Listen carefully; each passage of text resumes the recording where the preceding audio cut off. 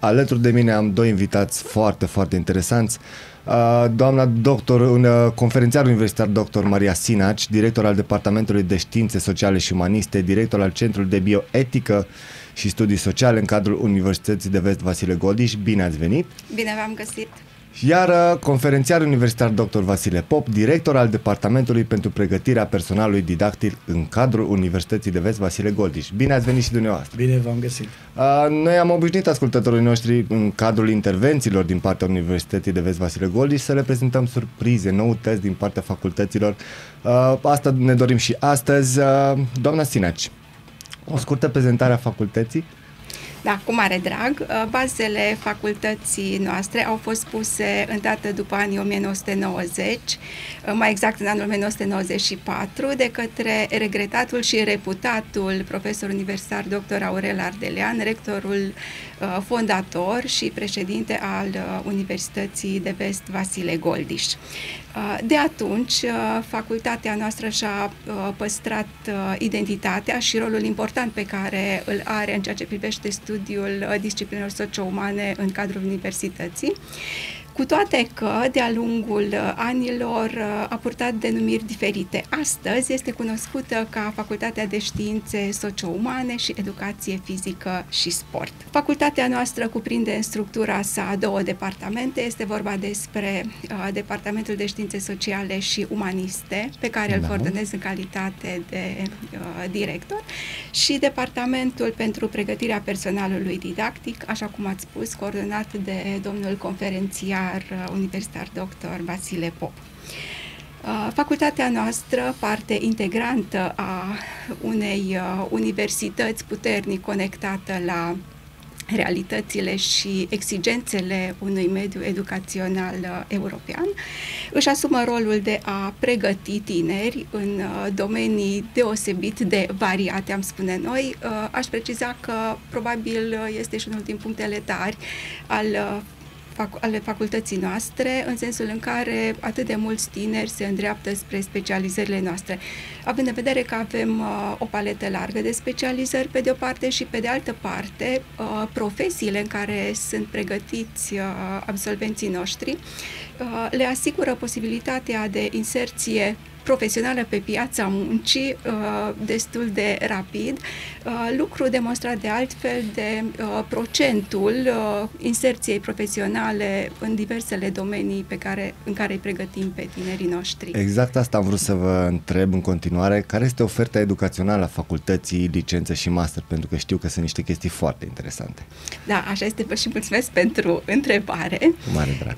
Um, Așa cum spuneam, avem o paletă largă de pregătire a tinerilor. Avem 10 uh, programe la nivel de licență, 5 programe la nivel de masterat și uh, două programe la nivel de studii uh, postuniversitare. Sigur că eforturile noastre ale cadrelor didactice uh, se concentrează pe ceea ce înseamnă pregătirea teoretică, pregătirea practică a specialiștilor uh, pe care noi îi formăm în conformitate cu cerințele de pe piața muncii muncii, bineînțeles. Uh, la nivelul uh, uh, studiilor de licență avem domenii de pregătire în psihologie, programe de pregătire în psihologie, limbi moderne aplicate. Studenții pot studia concomitent două limbi străine la alegere între engleză, germană, și franceză. Pregătim în asistență socială, pedagogia învățământului primar și preșcolar, istorie, Uh, relații uh, internaționale, comunicare și relații publice, educație fizică și sportivă, resurse umane, uh, recent studii de securitate. Aș face precizarea că studiez în cadrul programului pentru pregătirea, pentru pedagogia învățământului primar și preșcolar. Pot opta fie pentru Arad, fie pentru cele trei filiale pe care le avem și unde pregătim studenți în cadrul acestui program, și anume la Satu Mare, Baia Mare și uh, la Zalău. Uh, la nivel de masterat, uh, pregătim uh, tinerii în psihologie clinică și psihoterapii, management educațional, comunicare managerială și resurse umane, managementul organizațiilor și activităților de educație fizică și sport și kinetoprofilaxie și recuperare fizică. Sigur că nivelul de pregătire al tinerilor, momentul în care își finalizează studiile de licență, le facilitează înscrierea și urmarea studiilor la nivel de masterat. Pentru înscriere invităm pe tineri să acceseze platforma, site-ul universității noastre și anume pagina de admitere. Înscrierea se face în format online și admiterea pe bază de dosar. Deci, practic, este ușor nu e nimic complicat, trebuie doar să-ți dorești, nu așa, să începe facultate. Mergem mai departe la conferențiar universitar dr. Vasile Pop. Ce ne puteți spune despre acest departament pentru pregătirea personalului didactic?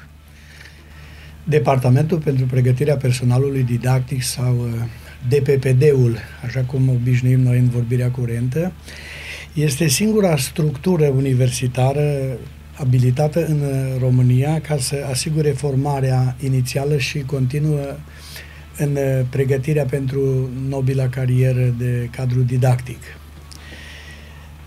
Această structură, departamentul, este gândită și se conduce pe baza legislației educaționale din România, asigură o formare inițială, respectiv nivelul 1 și 2, nivelul 1 asigurând pregătirea pentru cadrele didactice care doresc să predea în învățământul preuniversitar până la nivelul liceal, iar nivelul 2 asigură pregătirea cadrelor didactice și abilitează cadrele didactice care predau la nivel liceal și la nivel uh, universitar.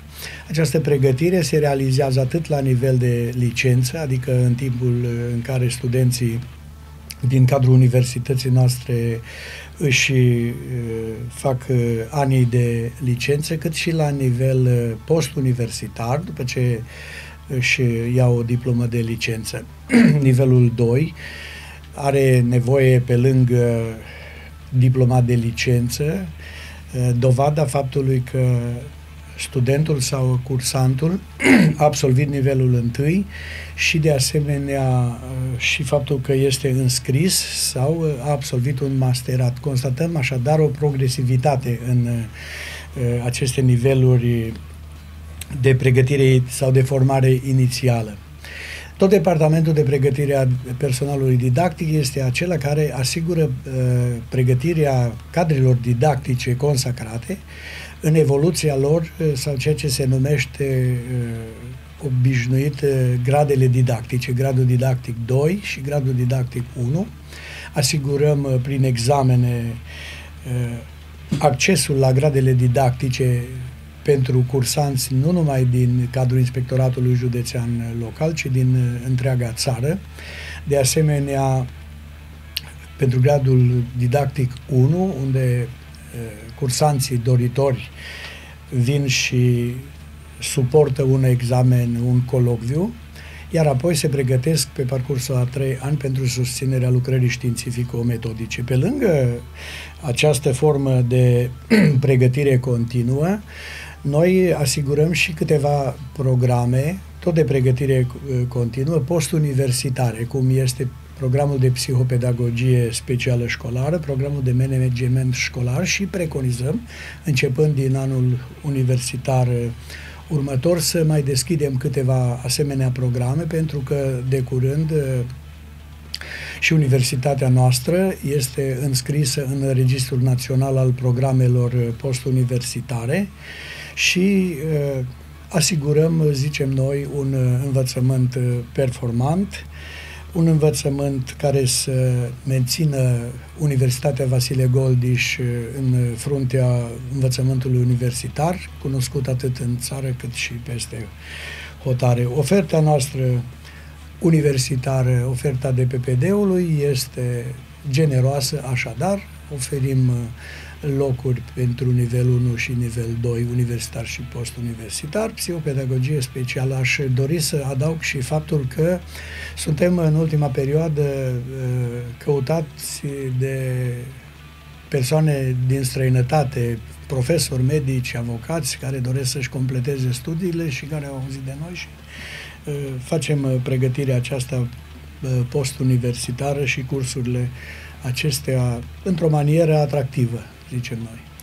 Bun, doamna Sinaci, știm că de câțiva ani dumneavoastră coordonați un volum colectiv. Care este cel mai recent număr apărut și cum își promovează colegii dumneavoastră articolele și cercetările efectuate? Vrem să ne prezentați un pic cartea pentru că știm că este o carte foarte interesantă, este nouă apărută, trebuie să afle toată lumea despre ea. Haideți să vedem despre ce este vorba. Cu mare drag. Este vorba despre volumul Comunicare, Cultură și Societate. Este volumul cu numărul 4.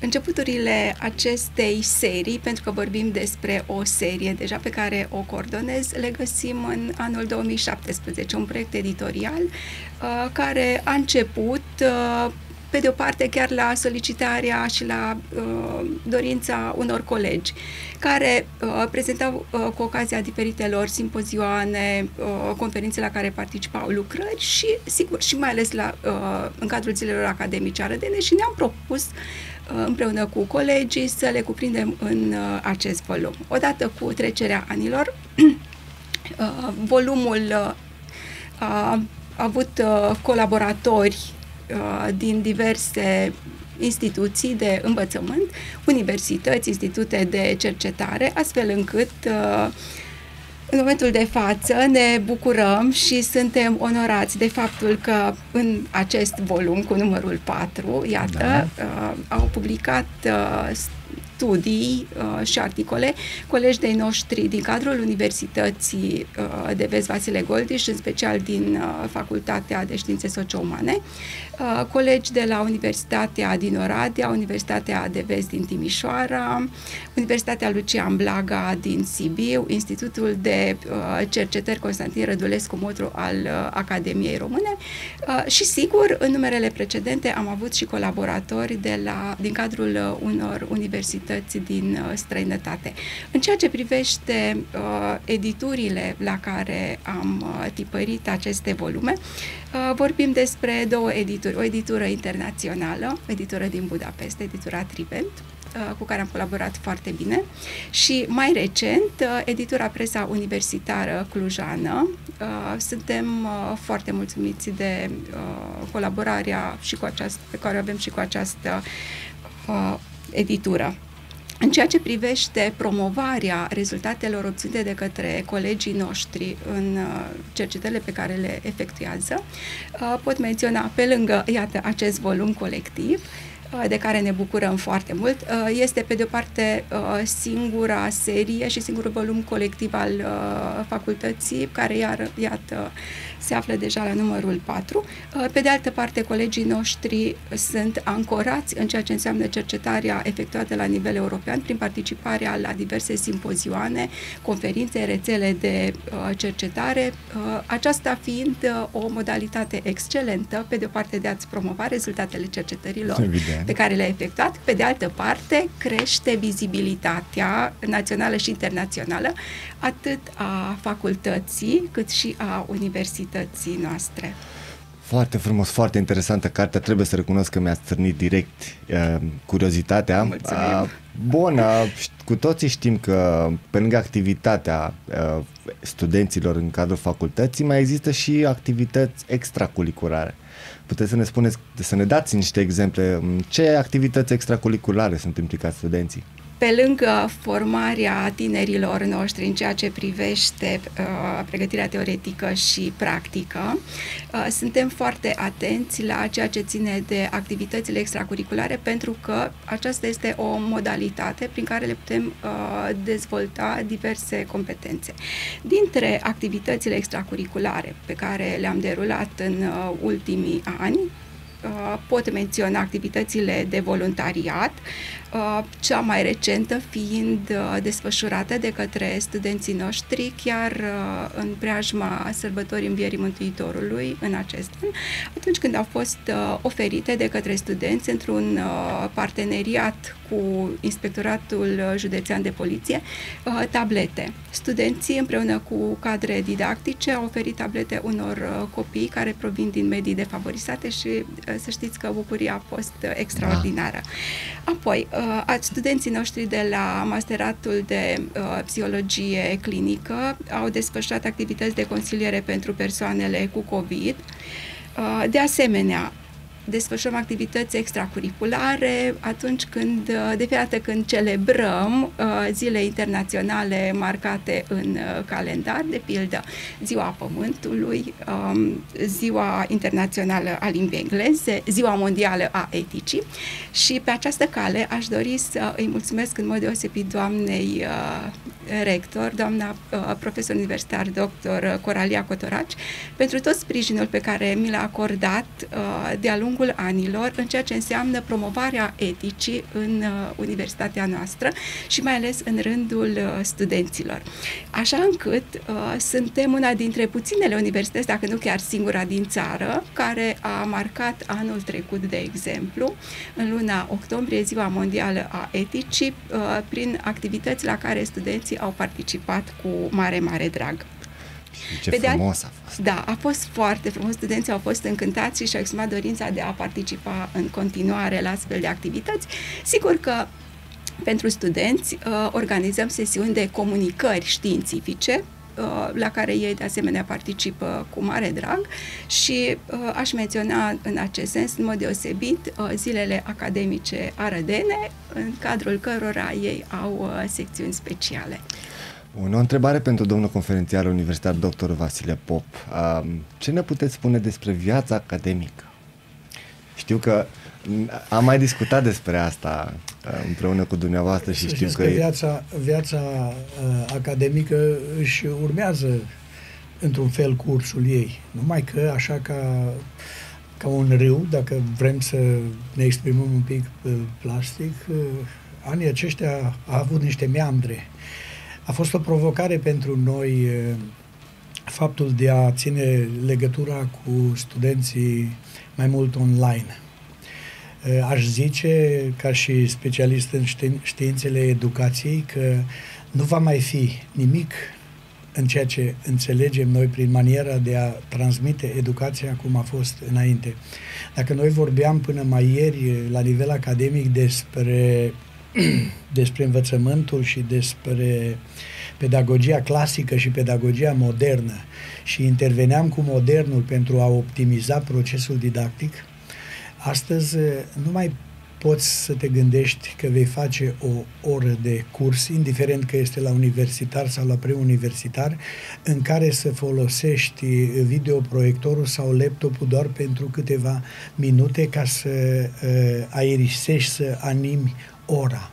Când uh, atâta perioadă de timp am lucrat doar uh, online și atunci va trebui să regândim, să resetăm metodologia didactică, strategiile didactice, în așa fel încât uh, aș zice că învățământul academic la ora actuală este în fața unei provocări. Au și apărut în literatura de specialitate studii, cărți, care încearcă să traseze niște linii directoare pentru viitor, cum cum va fi învățământul universitar. Pentru cadrele didactice este o provocare, dar și pentru studenți. Marea problemă va fi ca acel feedback despre care vorbim mereu și fără de care nu poți face educație, legătura profesor-elev, să o menții și în mediul online, ceea ce nu este deloc ușor. Deci, provocări pe care sperăm că le vom uh, surmonta și că lucrurile vor merge înainte, mai ales că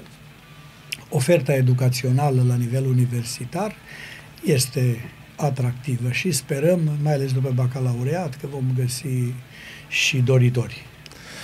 Perfect. Vă mulțumesc foarte mult că ați, v-ați uh, hotărât să veniți să împărtășiți cu noi aceste informații, zic eu, foarte, foarte interesante și vă mai așteptăm pe la noi.